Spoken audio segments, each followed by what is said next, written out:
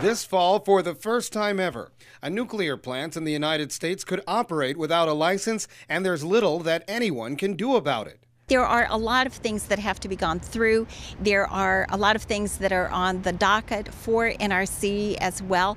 So all of that needs to be um, thought about in terms of the process. The Indian Point Power Plant, located just 38 miles north of New York City, was commissioned in the mid 70s. One of two reactors at the nuclear plant will soon be operating with an expired license because of a complicated procedure for license renewals. There are a number of concerns that have existed with regard to that facility for a number of years. Obviously, the governor of New York State has been calling for its closure, uh, as have many other people within the state.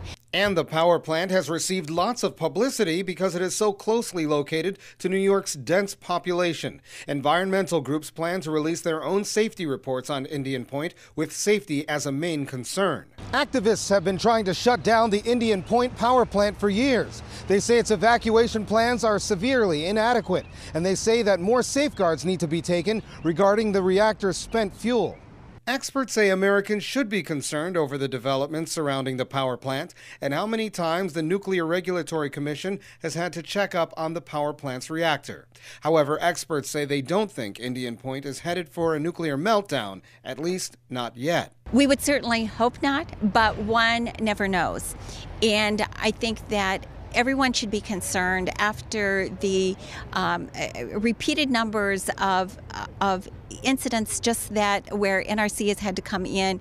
The license on Indian Point 2's reactor expires on September 28th. It will be one year before a decision is reached whether it will be extended for another 20 years. Colin Campbell, Press TV, Washington.